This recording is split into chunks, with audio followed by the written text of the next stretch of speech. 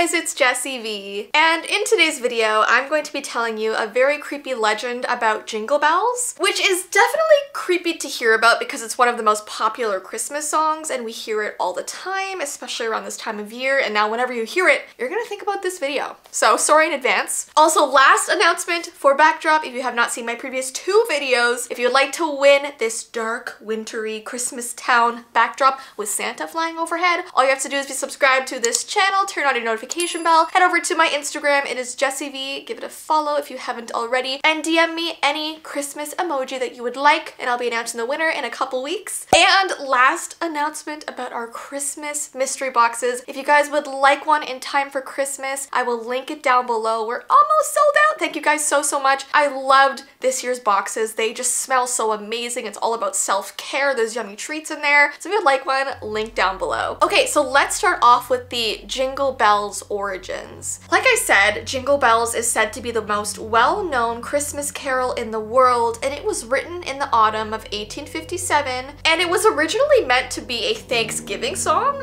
which definitely surprises me. And it was first titled One Horse Open Sleigh. Something I find very interesting is that Jingle Bells became the very first song to be broadcast from space on December 16th of 1965 and the astronauts also sent this message to Mission control. It says, we have an object, looks like a satellite going from north to south, probably in polar orbit. I see a command module and eight smaller modules in front. The pilot of the command module is wearing a red suit. So they were clearly hinting that they saw Santa using, you know, astronaut space terms, and I just find that really, really cool. Okay, so we're just gonna jump right into it and talk about something called the Jingle Bell Incident. In the small town of Frostbrook, there was an eerie Christmas Eve tradition that locals whispered about behind closed doors. And as the clock struck midnight, a mysterious figure would suddenly appear in the town square, armed with an old jingling bell. The townspeople would gather around this figure to witness a haunting rendition of Jingle Bells. And with every ring of the bell, the temperature went down a degree, gradually getting colder and colder. And as this song played for everyone to hear, faces of long gone residents materialized in the icy air before them, their expressions revealing tales of joy, sorrow, and for some, unfinished business. Some townspeople even claimed to hear the anguished cries of the departed trapped between the notes of the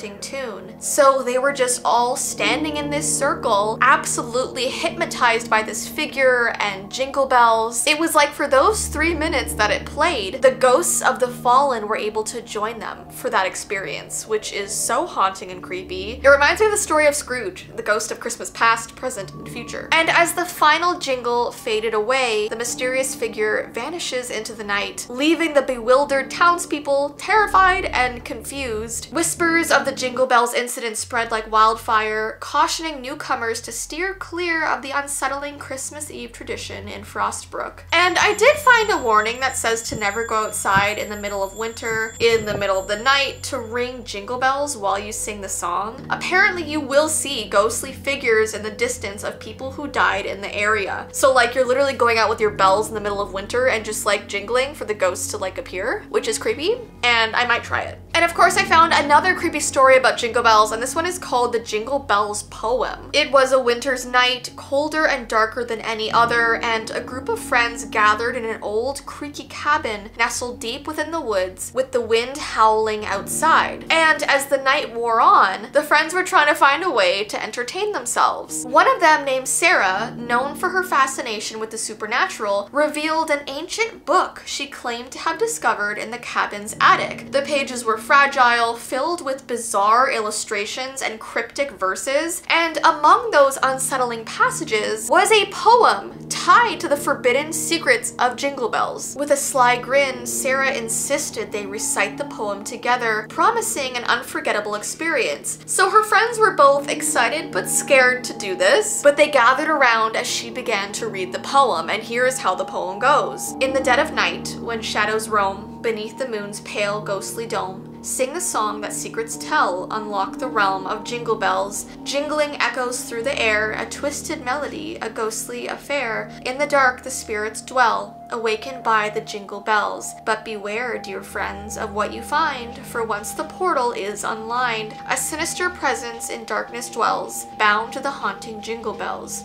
Should you wish to heed this call, sing the song within these walls, but escape the grasp of the spectral spells or forever be bound to jingle bells. And as her last words echoed through the cabin, an unsettling stillness covered the room. The friends all looked at each other completely uneasy, wondering what they just unlocked in their cabin. The air seemed to thicken with an otherworldly presence, and a distant jingling rang in their ears. Suddenly, the cabin's temperature dropped, and the flickering candle candlelight cast ghastly shadows on the walls. And the friends who were now terrified felt this pulsating happening in the room, and the jingling intensified, resonating through the cabin like a spectral choir. They saw all these shadows filling the cabin, reaching for them, and the poem's verses echoed in their minds, haunting them as they fled the cabin. And years later, those who survived that fateful night still speak in hushed tones of the Jingle Bells poem. They warn others not to recite its verses, for the spirits awakened by the twisted melody continue to linger, waiting for the next unsuspecting soul to become entwined in the haunting world of Jingle Bells. I just recited it.